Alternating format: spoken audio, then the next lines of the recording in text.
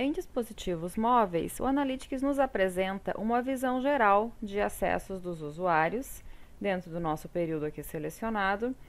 por categoria de dispositivo, mobile, desktop e tablet. Os mesmos quadros e informações aqui de aquisição, comportamento e conversões são apresentados e vocês podem avaliar por categoria de dispositivo como é que está a conversão de vocês o comportamento por taxa de rejeição, páginas por sessão e duração média da sessão, de acordo com cada um dos devices, vamos dizer assim, e aspectos relacionados aos acessos também, porque quando a gente fala aqui de dispositivo, a gente tem que entender que nós também temos aqui as versões do site é, disponíveis para cada um desses dispositivos e isso pode estar tá influenciando numa alta taxa de rejeição, por exemplo, em tablets ou mobile, comparando aqui o celular, o desktop, que está com 55,74% de taxa de rejeição. Ao entrar em dispositivos, nós temos aqui as informações do dispositivo que a gente tem maior acesso, no caso aqui o iPhone, então a gente considera aqui o sistema iOS e na sequência Samsung, Lenovo, LG, Motorola.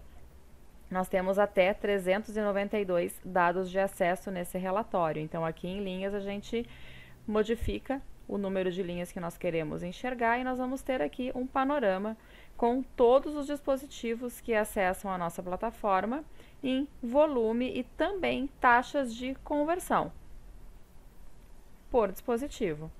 Esses dados aqui devem ser avaliados com bastante cuidado para que vocês tenham é, informações suficientes para estar de repente fazendo alguma modificação no site de vocês ou no blog, de acordo com as versões de dispositivo e também os dispositivos aqui que estão sendo mais utilizados e aonde vocês têm uma maior ou menor taxa de conversão também.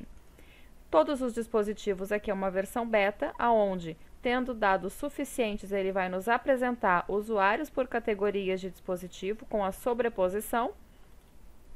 Nós aqui não temos ainda, né, na versão beta, os dados suficientes para essa análise. E aqui nós teríamos então representadas as categorias de dispositivo com os acessos totais, número de usuários e sessões e as metas com taxas de conversão por cada um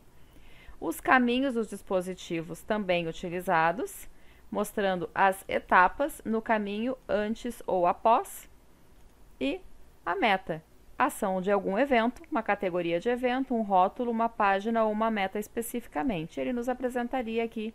os dados para nós é, termos essa informação.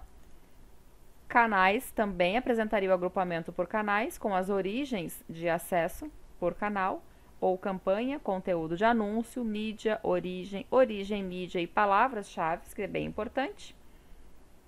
Usuários novos, usuários dentro do contexto geral e sessões, comportamento com taxa de rejeição, páginas por sessão e duração média e todas as metas com os valores de metas atribuídos. E dispositivos de aquisição. Com categorias de dispositivo e origem, categoria do dispositivo, dispositivo de campanha, dispositivo e canal, dispositivo e mídia, dispositivo e sistema operacional do dispositivo, que é bem importante para vocês verem a, a questão de acessibilidade do sistema do site ou do blog de vocês, ou até mesmo do aplicativo,